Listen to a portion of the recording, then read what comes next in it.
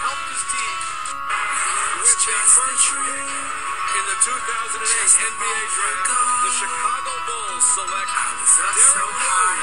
Derrick Rose Don't let me fall.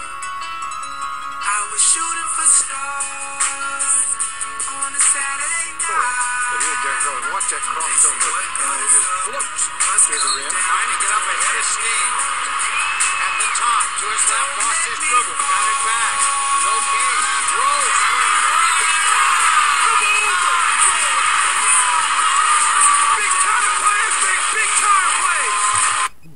That's right, big time players make big time plays. What do you think about that statement? Um, who's the MVP of the league right now? Anybody want to tell me? Because I think, without a doubt, I think everybody knows who the MVP of the league is, and that's Derrick Rose. Big game tonight um, in New Jersey. We were riding a seven game win streak. I honestly thought they were going to drop the game. You know, I figured if they were going to lose a game, it, it would be this one. They struggled a little bit, but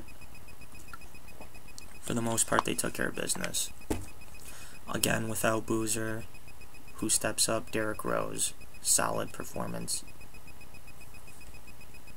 Yet again. Um, Joakim Noah was back in the lineup. Finally, missed uh, the last game due to flu-like symptoms. We won that game, but I mean, I don't understand why there was even any consideration as to who's MVP. I think it's hands down Derrick Rose. I think LeBron James has fallen out of talk. I mean, I don't want to hear LeBron James in the talk anymore. If you want to have a runner-up for good measure, I mean, I I would pick Dwight Howard. Um, the bottom line is the Bulls are on fire. They are the hottest team in the NBA right now. They've won, what, 15 out of the last 17 games? I mean, that's ridiculous. Um, I think we are gelling and really playing together well as a team. And I think that the sky's the limit for this team, and this kid is unbelievable. I mean, we have not seen the likes of a point guard like this. The type of speed, the type of power that this kid has, and he's he's small too. It's not like he's like huge. So,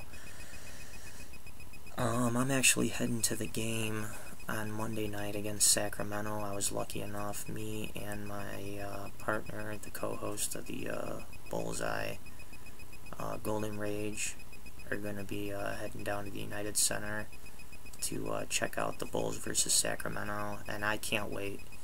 Um, even though they're playing a crap team like the Kings, I expect nothing less than a playoff type atmosphere. I mean, we're battling for first place still, and I mean, it's just going to be insane.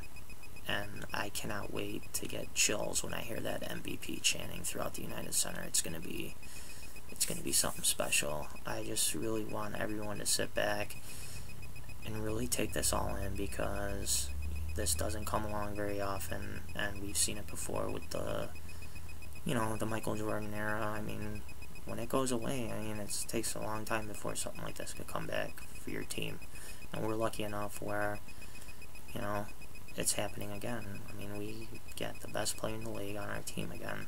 So, sit back and enjoy the ride because this kid isn't even in his prime yet. We're just getting started.